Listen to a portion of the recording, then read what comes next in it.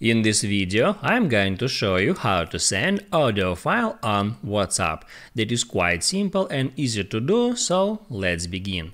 And uh, first you can open up WhatsApp, then you can get into some conversation. I'll just open up conversation with myself.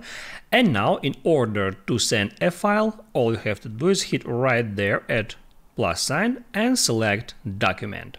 Then you can find here your audio file and then you can check mark that file, hit add open and then hit on send right there to send that audio file to your conversation.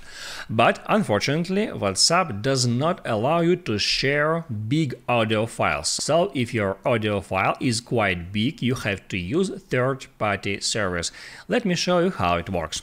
You can hop out WhatsApp and open up Safari web browser and then go to WeTransfer.com. That's free service where you can share your files all over the internet. Just hit right here at uh, send a file, then hit add plus sign and select choose files. After that you can check mark your files. It can be audio or PDF or video file, it doesn't matter. You can also check mark multiple files at once and then hit on open. After that, hit on next, then make sure that get a link is checkmark and hit on get a link.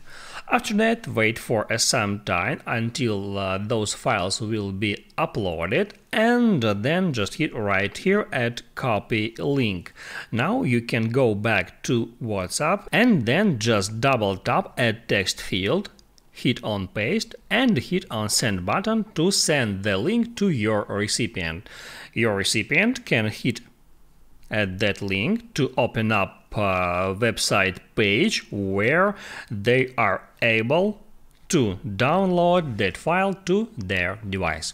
I hope this video helped you out, so don't forget to like and subscribe.